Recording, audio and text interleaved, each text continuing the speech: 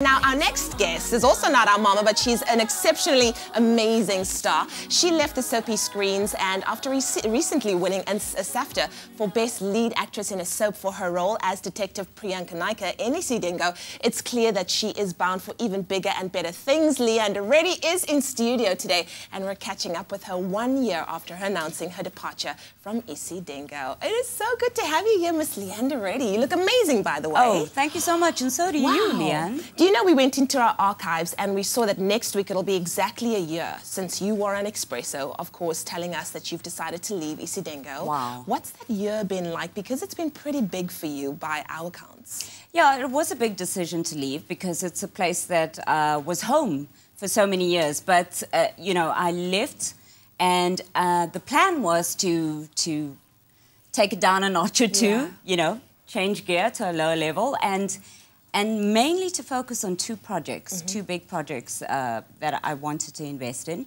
and also to spend more time with my family, yeah. which I got to do, and also to go back into freelance acting. Yeah. Uh, and that's been exciting and challenging. It means going back to auditions mm -hmm. and all the nerves and the tension and the stress that comes with that, but wow. very exciting as well. So, uh, one of the things that I wanted to spend more time doing was a project that we were commissioned to do, and that is to produce a film. Wow. So I've been co-writing oh. and co-producing a movie, which uh, is for cinema release, and awesome. hopefully that will go off next year. So we're in script writing phase at the moment. Brilliant. Yeah. Busy, so. busy girl she is, this one. Now, let's just talk about two months ago. You won a SAFTA for your role on Isidingo. Was that a bittersweet moment? Was it a great way to kind of tie up the journey with Isidingo? Because it was really, really wonderful to see you walk away with the Best Actress Award. Thank you. It was so wonderful for me. Yes. I mean, I was on stage and it was overwhelming. It yeah. felt like... And you know, at that point in time, when I was holding the award, um, it was so great that I won it for Isidingo because... Yeah. Um, just for me personally as an actress, I worked really hard mm. and I invested a lot emotionally and just professionally yeah. um, uh, in the show. So, so to be acknowledged for that was just the cherry on top.